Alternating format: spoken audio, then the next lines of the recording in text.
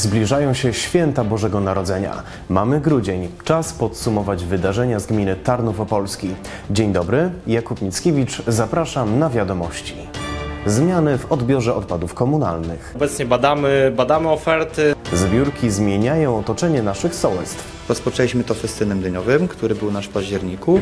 Na koniec świąteczne przygotowania i tradycje. Ozdoby wykonywaliśmy własnoręcznie, byliśmy podzieleni na grupy i Od nowego roku w gminie Tarnów Opolski zmieni się firma świadcząca usługi związane z odbiorem i zagospodarowaniem odpadów komunalnych, bowiem dotychczasowy usługodawca, czyli gmina Gogolin, wypowiedziała umowę. Trwa analiza ofert firm chętnych do odbioru i zagospodarowania odpadów komunalnych z gminy Tarnów Opolski. Do przetargu zgłosiło się dwóch oferentów. Firmy Rem- Remondis Opola oraz wywóz nieczystości Strach z Częstochowy. E, obecnie badamy, badamy oferty. No, wydaje się, że, że naj, najkorzystniejszą ofertę ma firma z Częstochowy. Oferta firmy z Częstochowy wynosiła 1 170 tysięcy, firmy Remondis 1 275 tysięcy mniej więcej, E, więc no, jest spora różnica. No, mamy nadzieję, że uda się podpisać z firmą, która, która ma niższą ofertę. Jako, że cena za usługi jest wyższa niż w latach ubiegłych i wyższa niż w zaplanowanym budżecie na ten cel, prawdopodobnie wybór nowego usługodawcy będzie wiązał się ze zmianami dla mieszkańców. Kwota, która tam została zaplanowana jest jednak e, jeszcze zbyt niska. Brakuje nam do tej najniższej oferty osiem- 80 tysięcy.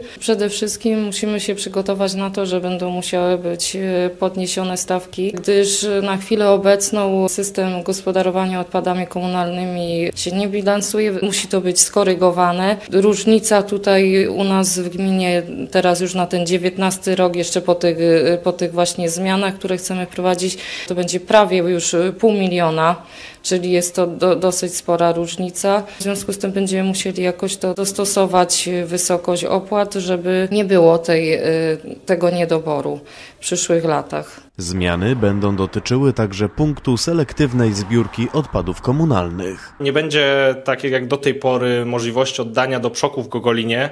E, Jest zaplanowany przok mobilny, czyli, czyli dwa razy do roku będą zbierane te śmieci dodatkowe.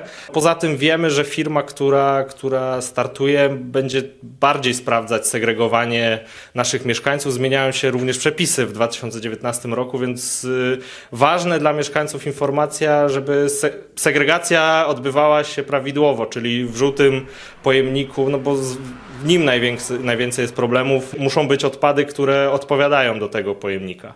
Umowa z wykonawcą usługi ma zostać podpisana do końca miesiąca. Mieszkańcy Kątów Opolskich i Kosorowic udowadniają, że razem można zdziałać więcej. Zbiórki złomu, organizacja imprez czy innych wydarzeń. Obydwa sołectwa prowadzą zbiórki pieniężne. Cele są szczytne. W Kątach Opolskich ma powstać nowy plac zabaw, a w Kosorowicach boisko wielofunkcyjne. Więcej informacji w naszym materiale.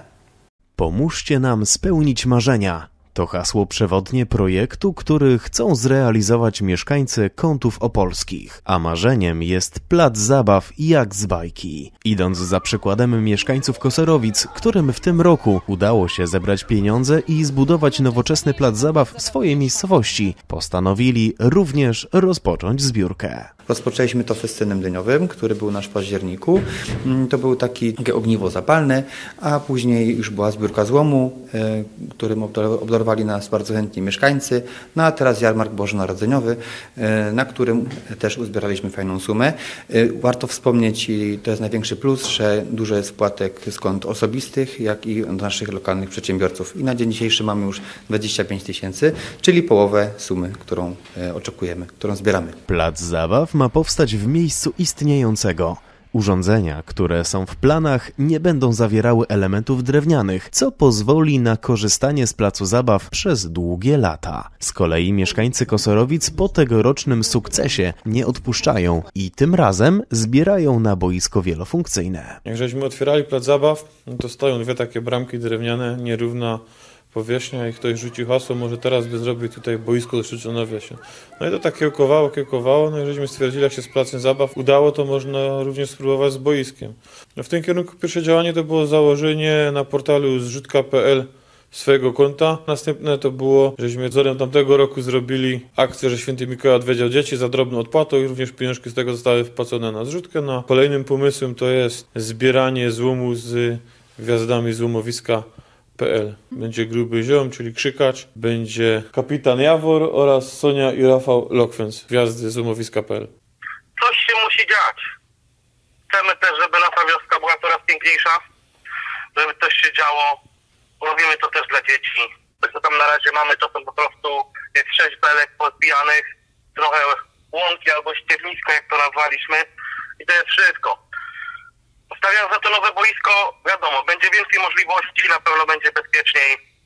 Będzie można pograć w tenisa, w siatkówkę, w koszykówkę.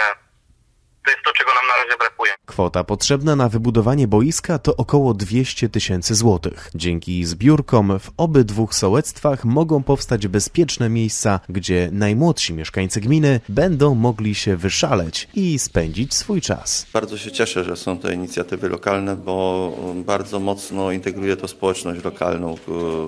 Kosorowice pokazało, że można. Takich inicjatyw powinno być więcej. Właśnie cieszę się, że to nie wygasło, tak można powiedzieć, tylko kąty opolskie chcą mieć równie piękny, równie e, ładny plac zabaw. Obydwa sołectwa można wesprzeć na stronie www.zrzutka.pl. Dokładając swoją cegiełkę i wspierając przysłowiową złotówką, można pomóc sołectwom i spełnić marzenia mieszkańców. W urzędzie gminy zapanował świąteczny klimat, bowiem dzieci ze szkoły podstawowej imienia Mikołaja Kopernika w Tarnowie Opolskim wraz z wójtem Krzysztofem Mucem wspólnie przystroiły choinkę. Serduszka, wstążeczki czy kółeczka, przepiękne, własnoręcznie wykonane przez dzieci ozdoby i łańcuchy zagościły na choince w gabinecie wójta gminy. Dzieci wraz z Krzysztofem Mucem wystroiły choinkę tak, że zmieniła się ona nie do poznania, a w gabinecie zapanował świąteczny klimat. Wykonywanie ozdób na choinki w szkole to tylko jeden z elementów przygotowania się do świąt Bożego Narodzenia. Mamy już choinkę ubraną, taką gazetkę, gdzie jest stajenka i różne inne ozdoby. Ozdoby wykonywaliśmy własnoręcznie, byliśmy podzieleni na grupy i robiliśmy różne, różne rzeczy. Robiliśmy też łańcuch taki z kółeczek. Przygotowania w naszych domach również idą pełną parą. Zakup choinki, dekorowanie posesji i domu, czy też generalne porządki to tylko część czynności, jakie wykonujemy przed świętami. Mama sprząta, babcia piecze pieniczki, wieszamy bombki na choince. Moja babcia już właśnie zrobiła tę mąkę z orzechami. A wszystko po to, aby uroczyście przeżyć Boże Narodzenie i zasiąść przy wigilijnym stole razem z najbliższymi. U mnie w domu e, święta wyglądają tak, że no, siadamy do stołu, e, później coś zjemy, a później po jedzeniu do kościoła chodzimy na pasterkę. Spędzam je z tatą, z babcią, z prababcią, z dziadkiem, z bratem i ze siostrą. Jest na stole opłatek, ryba. Idziemy do góry i czekamy, aż taka gwiazdka zapłonie, a wtedy, a wtedy idziemy na dół i tak sobie podglądamy przez, przez kłódkę. A potem rozpakowujemy prezenty. Jak ja mam Lego, no to je składam przez kilka dni. Opłatki są i potem jak przed obiadem śpiewamy kolendy. Grają skocznie dzieciąteczku na liże. Chwała na wysokości, chwała na wysokości, a pokój na ziemi. Mamy różnie, e, albo udajemy się do mojej mamy, do teściowej. W tym roku organizujemy Wigilię u nas, bo staramy się, żeby wszyscy gdzieś e, mogli e, się spotkać. Mało jest tych okazji, w których wszyscy, wszyscy się spotykamy. Pasterka obowiązkowo. To jest taki chyba gwóźdź programu, że o 24 u nas e, idziemy na pasterkę całą rodziną, przeważnie uroczyście. U nas e, w kątach opolskich to zawsze chór, orkiestra. Robi to wrażenie, także już się cieszę po prostu na tą pasterkę. Okres świąt Bożego Narodzenia to szczególny czas, kiedy składamy sobie bożonarodzeniowe życzenia, bo w tę wigilijną noc życzenia mają moc. Życzymy wszystkim wesołych świąt. Szanowni Państwo, tak jak tutaj razem e, z dzieciaczkami ubraliśmy pięknie choinkę, życzymy Wam wszystkiego co najlepsze, spokoju, odpoczynku, bycia z bliskimi, to żeby Wasze pociechy były szczęśliwe i żebyście mieli w przyszłym roku dla nich e, bardzo dużo czasu. Ja ze swojej strony życzę dużo błogosławieństwa Bożego, zdrowia, pomyślności i czego Państwo sobie tylko życzycie. Życzymy Wam wszyscy, tak? Życzymy dzieciaki, naszym mieszkańcom wszystkiego najlepszego.